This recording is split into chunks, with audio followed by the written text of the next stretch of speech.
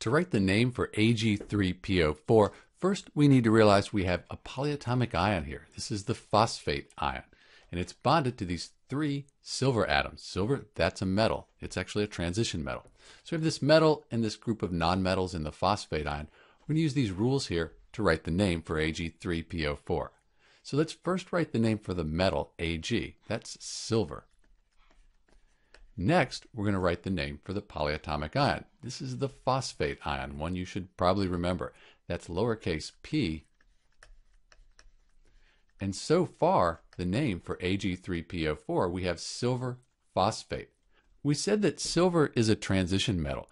Silver is almost always 1 plus. That's its ionic charge. So the ionic charge on each one of these silver atoms is 1 plus. Because of that, sometimes you'll see a Roman numeral 1 written between the silver and the phosphate, since silver is a transition metal.